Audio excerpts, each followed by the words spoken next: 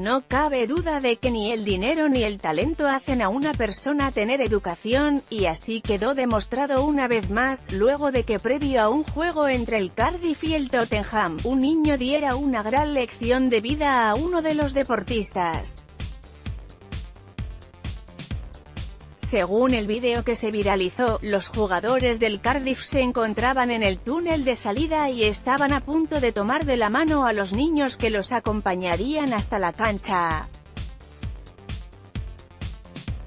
Sean Morriso, capitán del Cardiff, iba en primer lugar, y luego de acabarse una botella de agua, la aventó al piso como si de algo normal se tratara.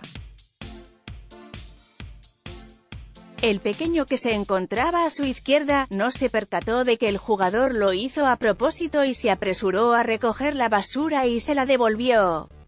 El jugador confundido, tomó la botella y la volvió a poner en el suelo, esta vez sin aventarla. Después tomó la mano del niño para salir al campo de fútbol.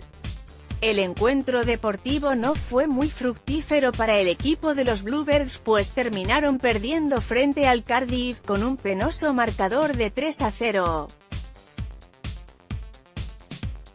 Silueta persona habla, excúseme Morrison, you droped your bottle, pic.twitter.com barra 2 x y en sokeram arroba a.